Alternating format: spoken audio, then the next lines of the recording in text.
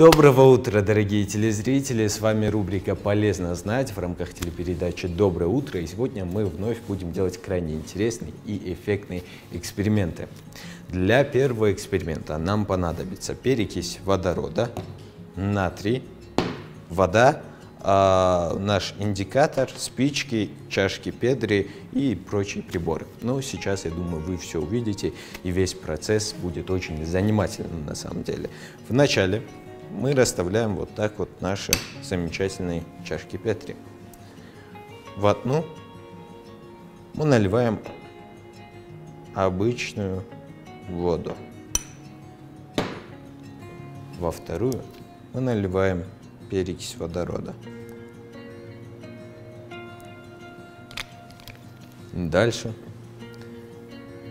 мы делаем самое интересное.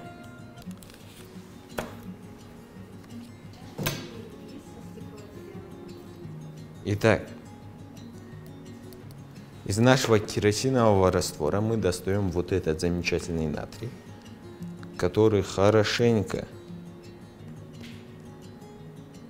вытираем, скажем так, убираем весь слой керосина, который на нем есть, дабы он не помешал нашему опыту. Так, раз. Два. Теперь, дорогие друзья, я берусь за нож, за скальпель, если быть точным. Зачем я это делаю, в принципе? Мне нужно почистить наш замечательный натрий, чтобы он у нас был совершенно чистым, красивым, готовым к эксперименту.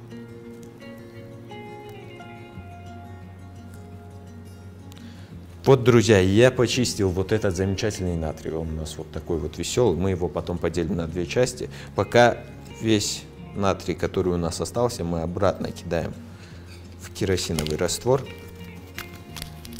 нам потребуется вот этот малюсенький, казалось бы, кусочек, который может творить замечательные вещи на самом деле. Делим его на две части.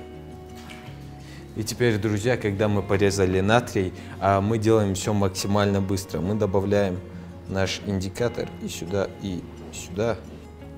Все, мы добавили наш индикатор, друзья. И теперь одновременно бахаем. Смотрите, что за чудо у нас получается. Натрий буквально рисует узоры. Поджигай.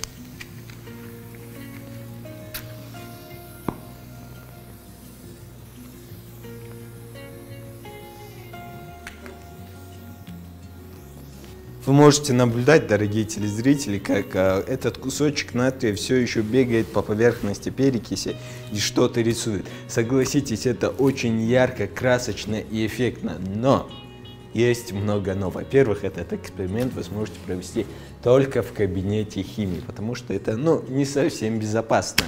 А во-вторых, очень неприятный запах, поэтому заранее побеспокойтесь о том, чтобы помещение, в котором вы будете проводить этот опыт, хорошо проветривалось.